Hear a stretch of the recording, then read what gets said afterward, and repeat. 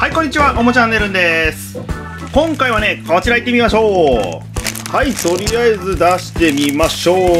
登場おっと名前こっちでした。トミカのくるくるマップ機関車トーマスです。はいこのくるくるマップっていうのはくるくる伸ばせてしまえるトーマストミカのマップだよということでこんな感じで筒の中から楽しいマップがビョーンと引っ張り出せる楽しいおもちゃですね。で昨日の動画ではそれの通常版を紹介しました。ちょっと伸ばしてみましょう。はい。こんな感じで楽しく遊べる地図が出てくるおもちゃですね。でそれの今回はこの機関車トーマスバージョン。さあどんな楽しい地図が飛び出してくるんでしょうか。それでは見ていきたいと思います。見た目はねトーマスっぽくね本体の色はこれはトーマスと合わせて青色ですね。あと地図を引き出す部分とこの取っ手の部分が黄色ですね。地図を巻き戻すこの黒いダイヤルの部分は黒色なんですけど通常のやつだとタイヤの柄になってたんでトーマスの方はねちょっと何も書いてないのが若干寂しい気がしますね。では引き出してどんな感じの地図が出るか見ていきましょう。では一気に行きます。登場。おおこれも楽しそうだ。マップの素材はね通常版と同じようにレジャーシートのような素材で結構ね引っ張ったりしても破れないようになってますね。あと汚れとか水にも強くなってるんで小さいお子様が汚したりしても大丈夫そうな素材ですね。さあでは手持ちのトーマストミカを並べて遊んでいきましょう。さあではトーマス港から出発です。おー出発進行。あまずここは何でしょう？あここはチョコレート工場です。多分さっきまでチョコレートパーシーがいたんじゃないですかね。じゃあ次に進んでポッポッポッポーとおこれはあここはソドー島の整備工場でビクターとあとこれはあ新しい映画のペンキで汚れたトーマスですね。多分今から綺麗にしてもらうとこですかね。じゃあ次行ってみよう。さあ次はん？ここはなんだ？あここはナップフォードステーション。駅ですね。あこんなところにトップハムハット卿楽しそうな駅にはジェームスが止まっています。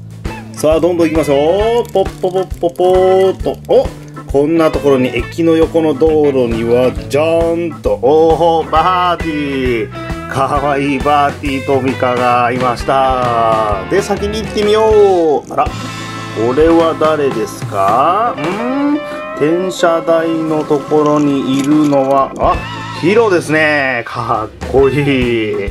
じゃあヒロはね転車台でくるっと回って機関庫に戻しておきましょう。あ機関庫にはん？どこかで見たことあるような。これはあ緑のトーマスくんです。すごいね。懐かしい緑のトーマスくん。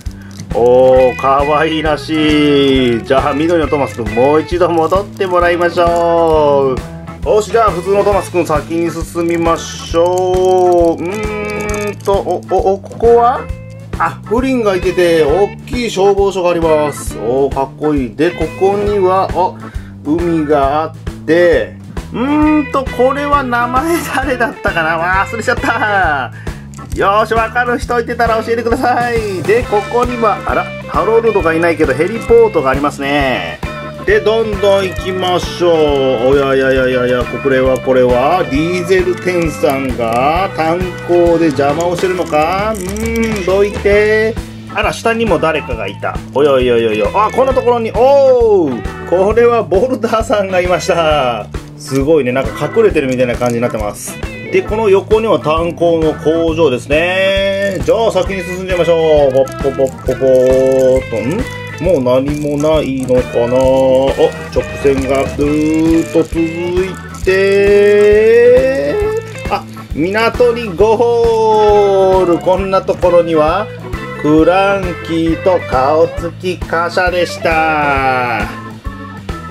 はいこんな感じで一通り走ってみましたけど機関庫とか転車台とかね駅とかあと工場にチョコレート工場とか港いろんな施設がいっぱいあってなかなか楽しめるマップになってますね。そして遊び終わったらねここの黒いダイヤルこれを回すとこんな感じで地図をしまうことができるようになってます。遊び終わった後は綺麗に片付けておきましょう。ほんとこんな感じでコンパクトにしまえるんでなかなか便利な地図だと思います。それと今回のこれはトミカのマップなんですけどもこのミニミニトーマスで遊べたりもするんで他のいろいろなトーマスのおもちゃと混ぜて遊んでみても楽しいと思います。はいということで今回はトミカのくるくるマップ機関車トーマスバージョンを紹介しましたコンパクトにしまえて素材自体はかなり頑丈で汚れとかにも強いんでトーマスが好きな子供さんとかすごく喜んでくれると思います。もちろんトーマスが好きな大人の人でも全然楽しめるものだと思うんでぜひね一度おもちゃ売り場でチェックしてみてください。ではでは今回はこの辺りでおもチャンネルのたるでした。皆様のチャンネル登録コメント評価どんどんお待ちしていますんでよろしくお願いします。それではまたお会いしましょう。さよなら。バイバイ。